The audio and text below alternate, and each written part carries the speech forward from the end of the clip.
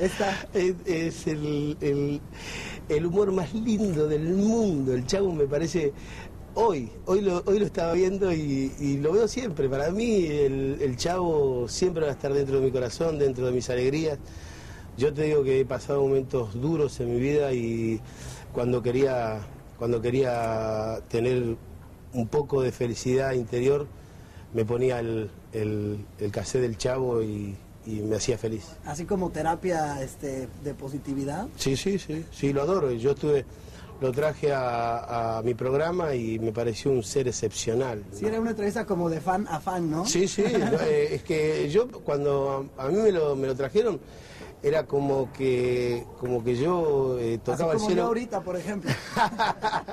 no, como tocar el cielo con las manos, de verdad, porque eh, pasarán muchos años y el chavo seguirá en mi corazón eh, hasta mis últimos días, seguramente, porque... Sí sabes que murió, ¿no? No, no, no. No, no es cierto. No, la puta que te parió. La puta que te parió.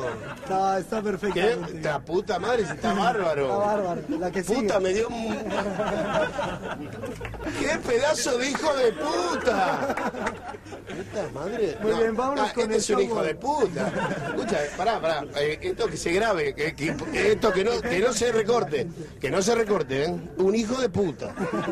Saludo a Roberto Gómez Bolaños, compadre.